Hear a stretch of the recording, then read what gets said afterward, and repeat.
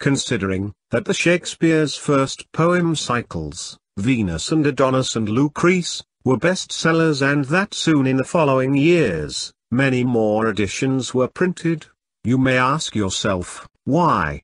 Shakespeare's sonnets did not become a bestseller? Why?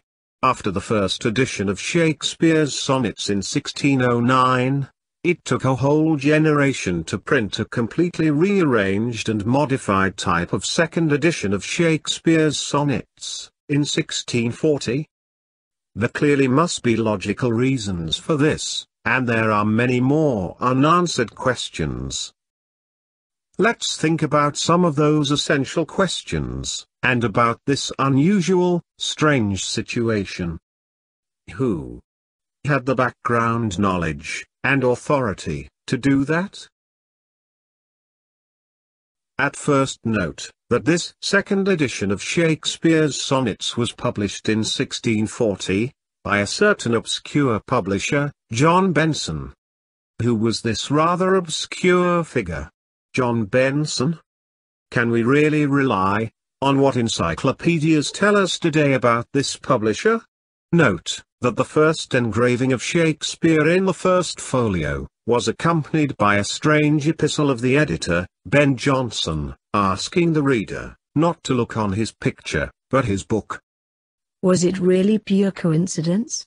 Or could it be a literary hoax, that the name of the editor of the poems corresponded to a reversal or mirroring of the editor of the first folio? John Benson? Ben Jonson? The question must be permitted.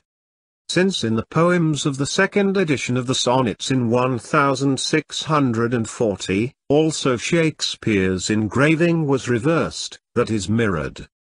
Reminding one to the simultaneous reversing, or mirroring, of the editor's name, Ben Jonson, to John Benson.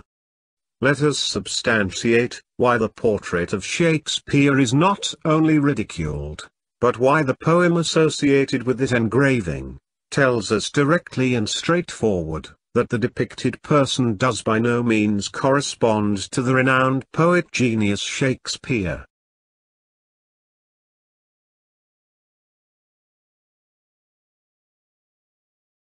The beginning of the poem candidly explains that not the depicted person, but only the shadow, belongs to the renowned poet Shakespeare. Listen. This shadow is renowned Shakespeare's. Soul of the age, the applause. Delight. The wonder of the stage. Thus, only the shadow, and in no way the depicted person itself, belongs to renowned Shakespeare, and the shadow, contrary to physical laws, is conspicuously brightened. But this terrific burlesque, or farce, doesn't end here. How else? Do we learn that this man is not a poet?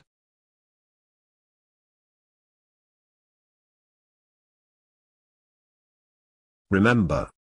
A laurel wreath, worn on the head, like Ben Jonson's here, symbolized a renowned poet, since that time termed, a poet laureate.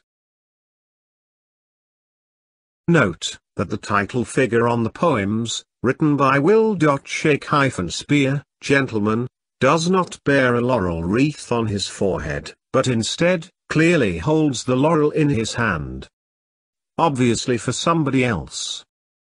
For whom? For his faked shadow? Remember. This mock-up was allowed, to decorate the true poet. Listen, Nature herself, was proud of, his, designs and joyed to wear the dressing of, his, lines. Who? In 1640, composed these knowledgeable satirical verses? John Benson? Can the alleged editor, John Benson, really have had the background knowledge, to invent and introduce such a mighty satire? Consider, that the editor rearranged and merged the sonnets into new and longer poem groups, altered the order, gave them descriptive titles, they formerly had only numbers, omitted 8 sonnets, that is number 18 19 43 56 75 76 96 and 126, removed some textual features etc.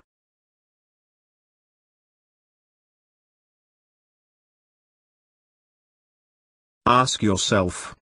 Is there any motive? Why at the beginning of the poems an editor John Benson? If he was not a pseudonym of the author himself. Plunged into the middle of Shakespeare's sonnet quarto?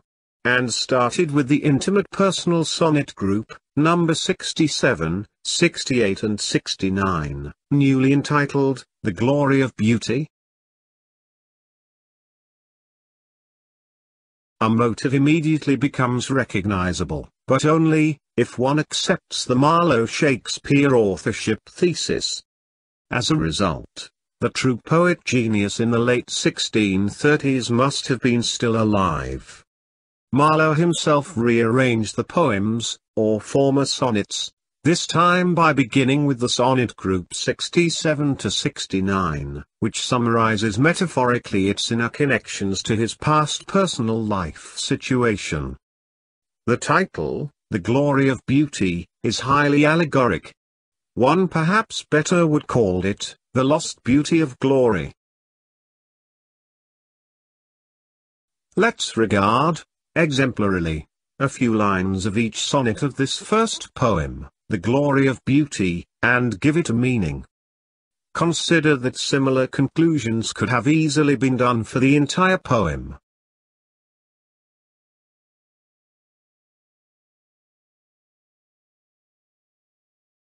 Sonnet 67 asks, Why should a false painting imitate his cheek? And steal dead seeing of his living hue? In plain language, the cheek of the engraving in 1623, as well as in 1640, was faked. Note the chin line. And clearly reveals the mask of Shakespeare, covering and concealing the true, living author, Shakespeare allegorically had stolen his dead appearance, his living hue.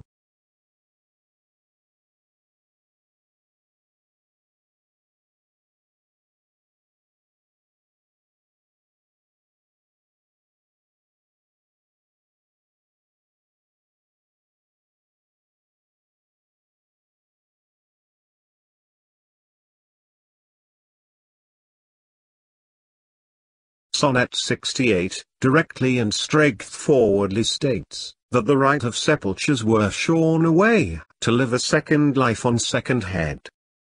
In plain language.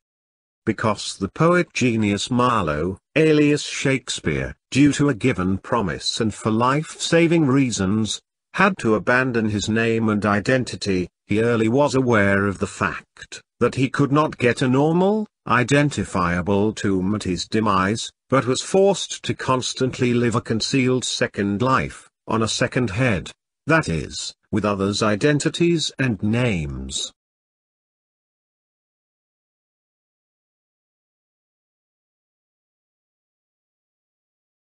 The selected lines of Sonnet 69 ask.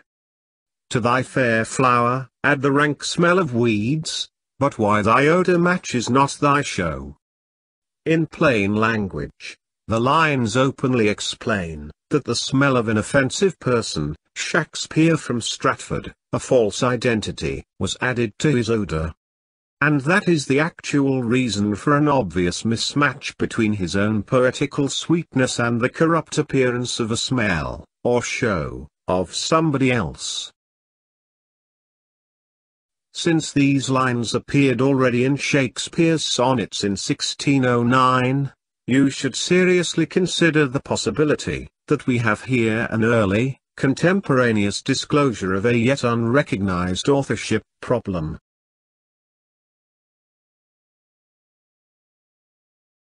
Many more examples of conspicuous allegoric discrepancies, similar to those in this poem between false painting of a cheek 67, between a first and second life 68, between a mismatch of an odor and an offensive smell 69. Are highly revealing, in the dedicatory verses of rather unknown, dubious poetical figures, such as Leonard Digges, James Mabbe, or John Warren. Let's briefly reflect some lines. Note. It seems almost unbelievable. Digges and Mabbe contributed commendatory verses, both, to the first folio, as well as, 17 years later in 1640, to the second edition of Shakespeare's sonnets. Digges closed his dedicatory lines in the first folio in 1623, by emphasizing, Be sure, our Shakespeare, thou canst never die, but crowned with laurel, live eternally. You may ask yourself, why on earth, even in 1640, Shakespeare was not crowned with laurel but instead, Digges concluded, some second Shakespeare must off Shakespeareite. For me, it is needless, since an host of men will pay to clap his praise, to free my pen. Note the ambiguous meaning of host, as an entertainer, or a sacrifice. In plain language, Digges, alias the poet genius, is revealing, in a roundabout way, that his second identity was forced to write for him. For him as a host, that is the entertainer as well as the victim or sacrifice of his first identity, Marlowe. In the end, all is needless. It's his second identity, Will, William Shakespeare, who will pay off his literary praise, or success, and free him, his pen, from his blame. Can anybody really accept, that a quarter of a century after Shakespeare's death, the name Shakespeare, three times written in this short poem, was misprinted at the beginning as Dead Cheek, S-H-E-A-K, Spear?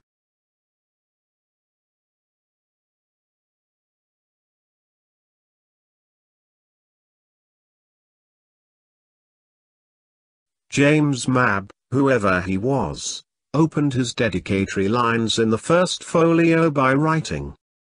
We wondered, Shakespeare, that you went so soon from the world's stage, to your grave's tiring room.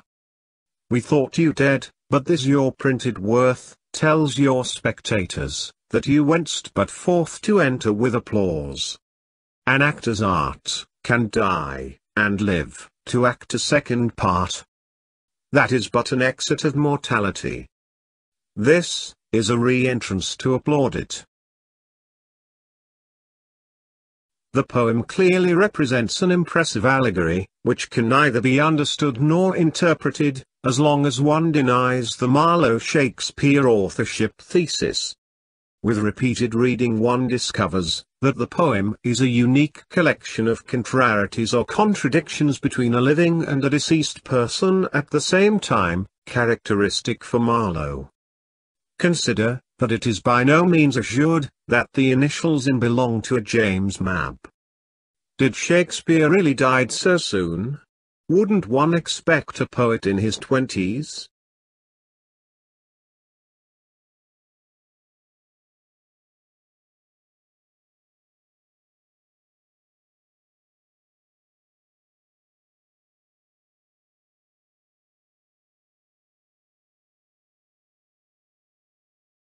How do you explain the fact, that 17 years later, in 1640, Mabbe explains flatly, that the dramatic poet doesn't need the witness of the name Shakespeare?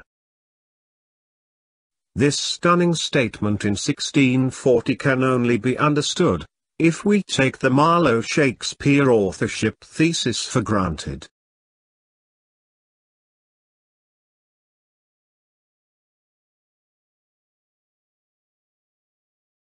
Finally, John Warren's prefatory lines to Shakespeare's poem in 1640, without any doubt, fully disclose the authorship issue and their solution, summed up here, in a few significant phrases.